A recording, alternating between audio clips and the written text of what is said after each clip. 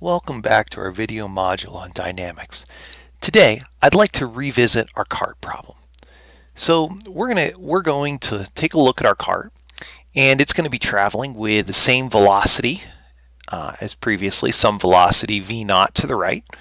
And like we did previously, we're going to attach some sort of spring to the front of it. We'll make that spring red. Uh, we're going to attach some sort of spring to the front of it so it's traveling with our velocity v naught, like I said.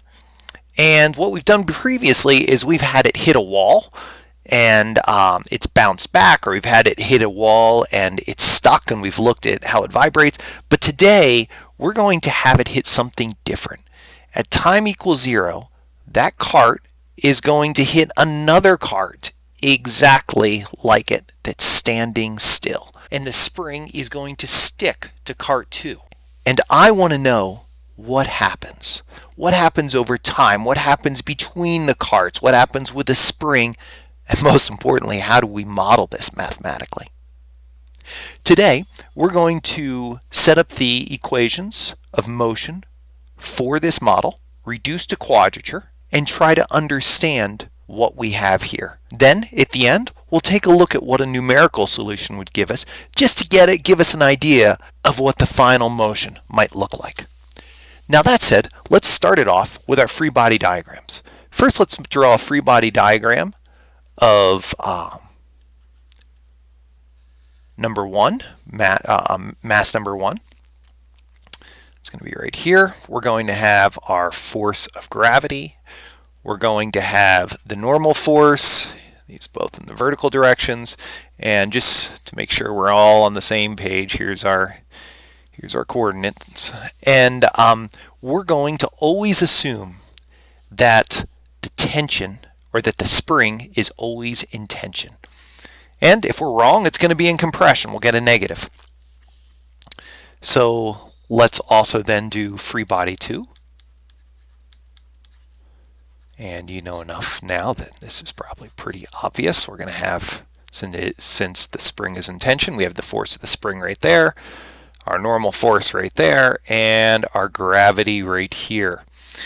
Now, to be clear, the reason we're choosing to have the spring always in tension is because it gives us a standard practice that we can change or revise later on if we need to. Finally, let's draw the free body diagram of the spring. And this one will be pretty simple. We'll go here. Here's our spring. And we have the force and an equal and opposite force. Now if we want to understand what's happening, we'll need to write our equations of motion. Before we get in on that, I'm looking at the force of the spring. I know that the force of the spring has something to do with the distance between the two objects, but I haven't written it down for you yet. So let's go ahead and write that down. We know that the spring has some constant um, that influences how, how much force it takes to compress it and um, stretch it.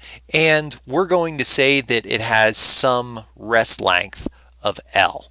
For the sake of argument, we're going to say that as soon as the carts touch, the spring is completely relaxed.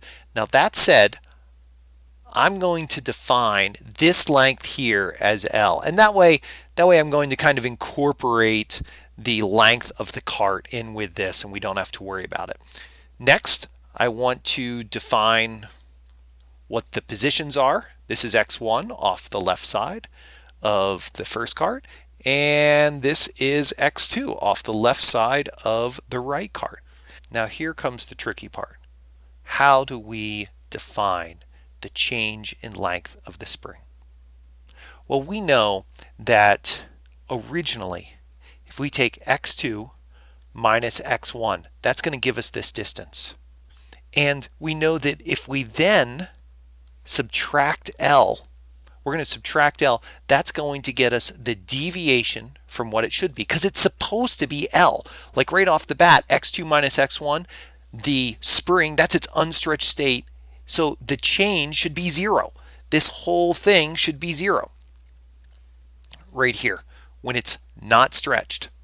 So x2 and x1 are going to change, L won't, so that should be all delta L, which means that if we wanted to, we do our force of our spring equals k times x2 minus x1 minus L. What I'd like to do now is, um, is try it out. Let's say x2 increases a whole bunch. x1 stays the same, x2 is going to increase a whole bunch.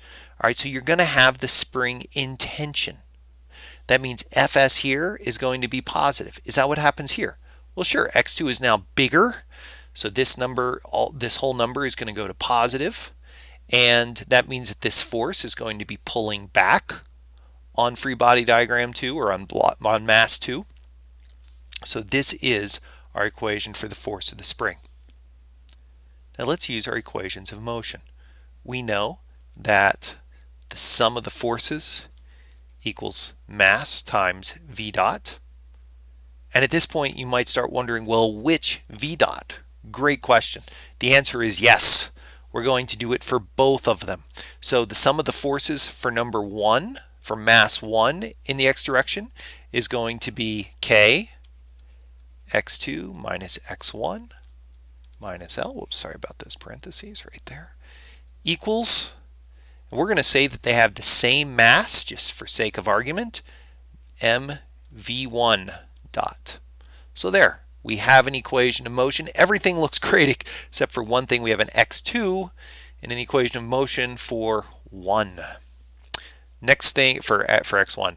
The next thing we're going to do is we'll do the sum of the forces equals mv dot for free body diagram 2. So that's going to be k pretty much.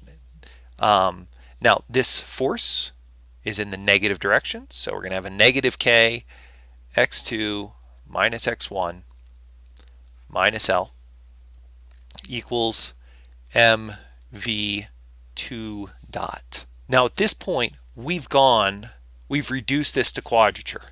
This is as far as we can go. We have two equations, but we do not have any good methods for evaluating these. The one further step that we do need to do is let's also evaluate or identify our initial conditions. So we know that at x1 at time 0 equals 0. We know that the velocity of 1, x1 dot, at time equals 0 is v naught we know that the distance, the position of x2 at 0 is L. Everything's unstretched. And finally, we know that the velocity of 2 at 0 equals 0. At this point, we can't go any further. We don't know what the solutions are. The only way to do it is to do it numerically. I hope this gives you a little bit of a feel of how to set up these types of multi-body collisions. I'm sure as you can see that this is can be a in, incredibly complex and rich area of study and we're only going to scratch the surface of it here. Join me in our next video when we look at this problem's numerical setup and the solution. I look forward to seeing you then.